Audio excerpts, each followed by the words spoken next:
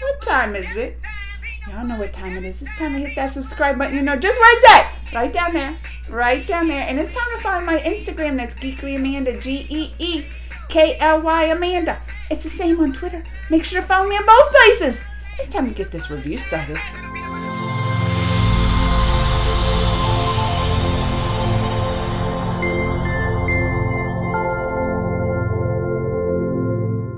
I finished the first season, which was only like, what, seven episodes of the Mahabharat series on the Hotstar, Star Plus, Disney Star Plus.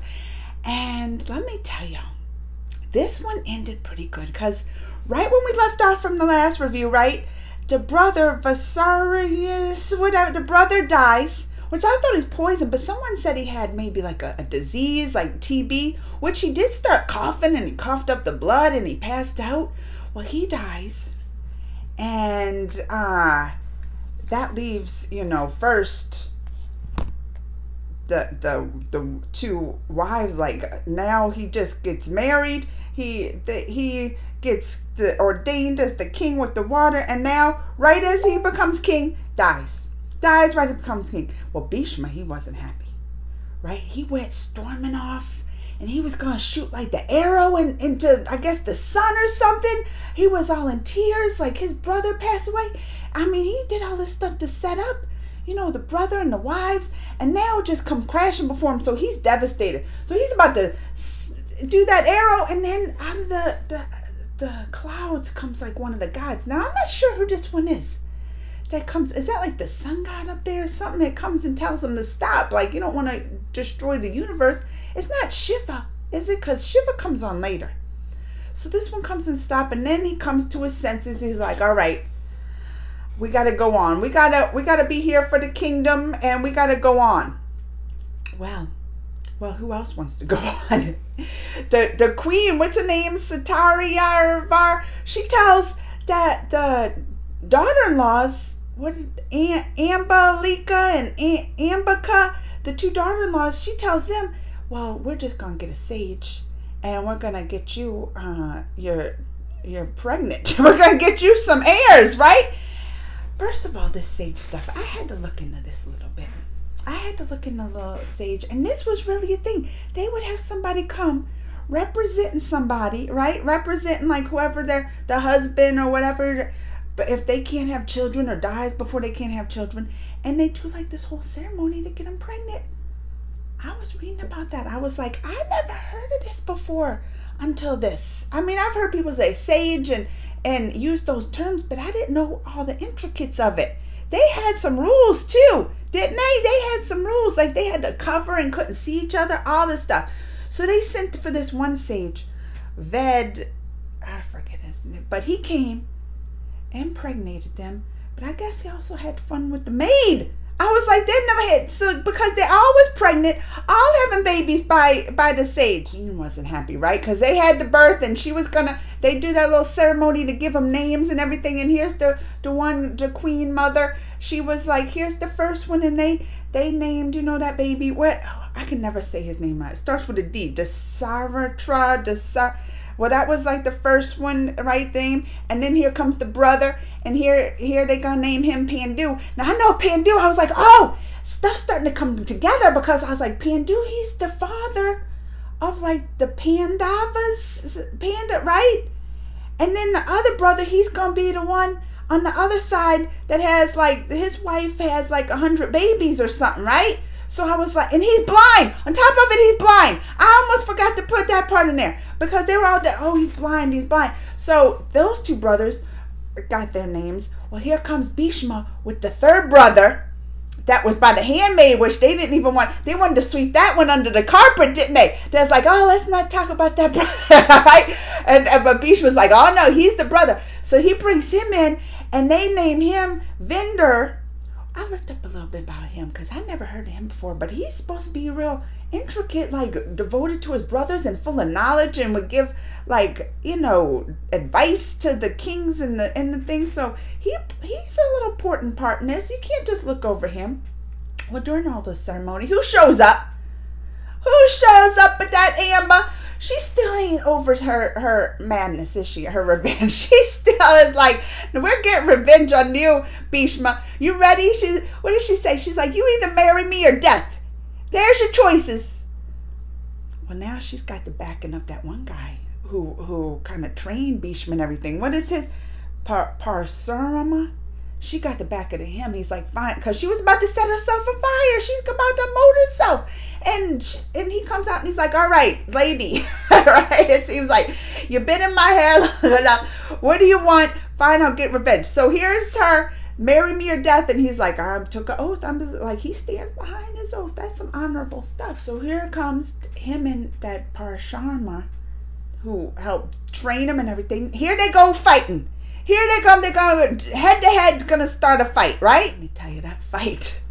That fight was like nobody's winning that. Let's take a little bit of a look at a little bit about this. Y'all ready to see some of this fight?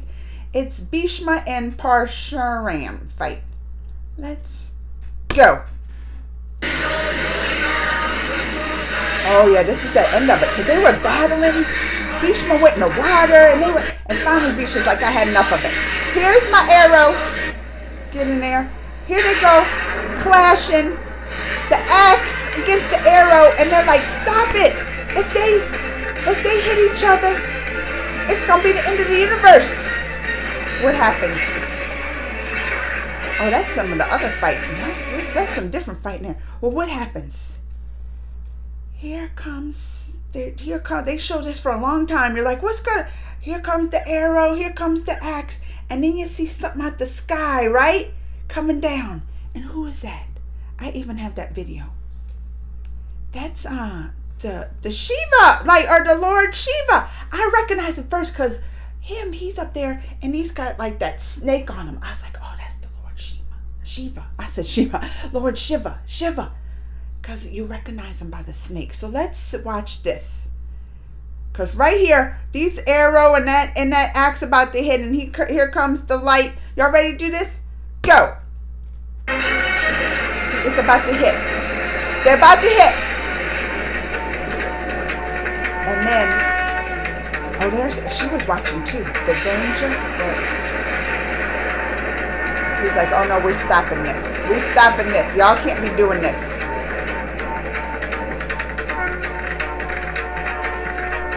Then Lord Shiva comes out the sky. There he is. Oh, first it was the mountain, right? They showed him in the mountain. He's got the snakes. He's like, y'all better stop.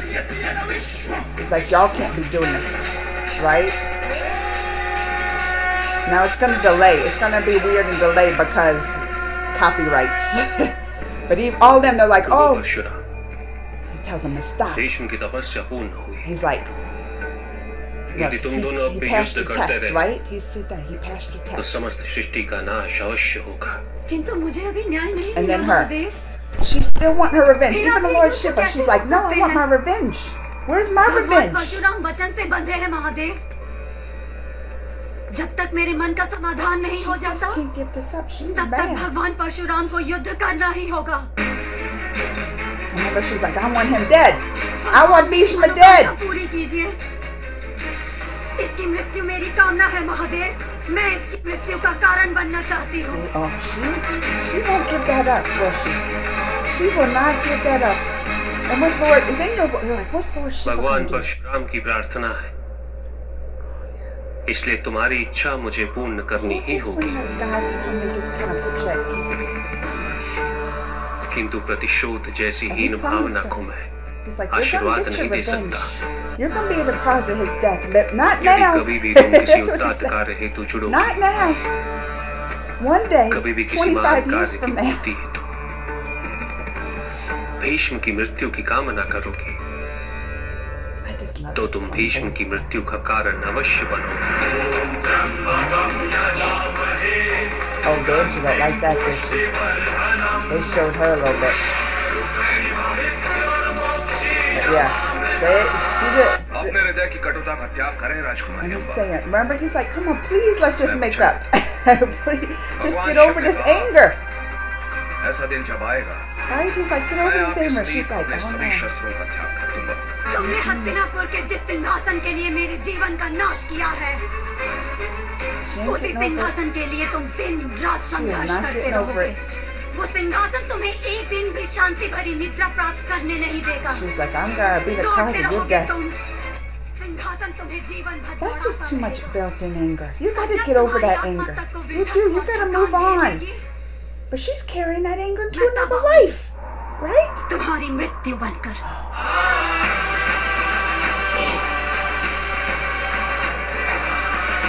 I love the music in this. It goes so well and stuff, don't it? So yeah, she's like, oh no. So she's gonna bring that anger, keep it in her, and bring it to another life. And then they show the scene where what is it like they're in that one um they're in that one place that one uh country or what I want to say kingdom right and that one guy who don't like the Bhishma He's like, oh, finally I got my daughter. My daughter's gonna get revenge on the Bhishma. And the, and the daughter was born. What is her name? Sa Sa. I even was looking this up. Sikande. So that's what. So Amba is reborn as Sikande, who eventually is born a female. But then they said androgynous, like she was born a female to Shakandi Shika, Shikahandi. I can't say these names good. And, uh, to Drupadi, the king of that place. And but then she transforms into a male. Oh, this is. Are we gonna see this coming up? Are we gonna see why this happens? Cause I was like, what? But I know they also say she she becomes a male, and then she's the brother of Drupadi, so I was like, look at all this setting up. Like it's all this stuff is starting to set up Pandu, the, the father of the pandas, and here comes she can't change into this reborn and then change into male who is the brother of Draupadi. So this next season's gonna be some stuff, right? This next season. Cause then we also at the very end of this season, we see Gandhari. Oh, I know Gandhari. She well, She's the one who marries that dr- dr- the, the one with the D, the brother, the D brother. That's what I should call him, the D brother, Pandu's brother. He's an easy name. Couldn't they give me something easy to say? She's the one who eventually marries him. And I remember she had the thing around her face. She went gives him a hundred sons or whatever, and she she puts that thing around her face to be blind. But then you find out, like at the end of this, she's afraid of the dark. So I was like, she's the one that's gonna have the thing, married him, and then put the bind her eyes. And she's afraid of the dark.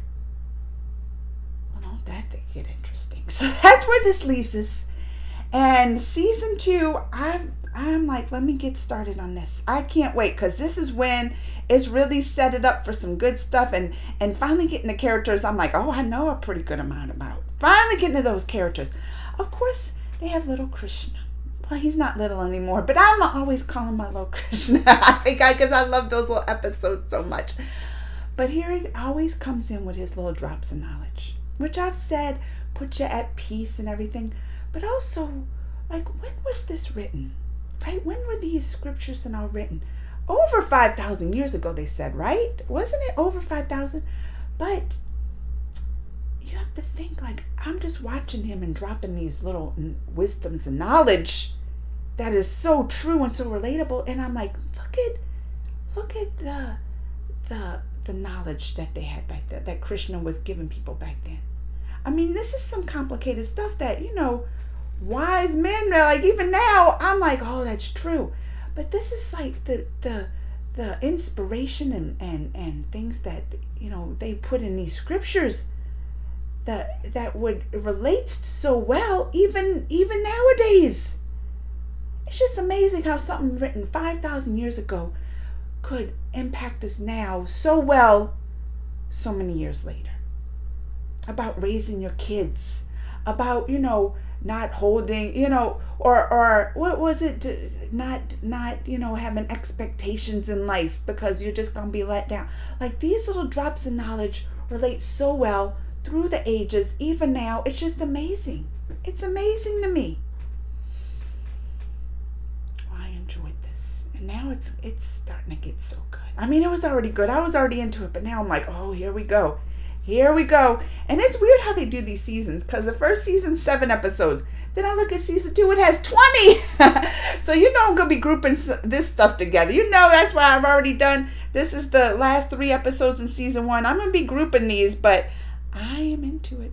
I am into it. I can't wait to watch more and see where it goes and and learn more and and listen to uh, Krishna's little not drops of knowledge to us. And y'all let me know what you think. Comments, thumbs, all that. Till next time. Mwah!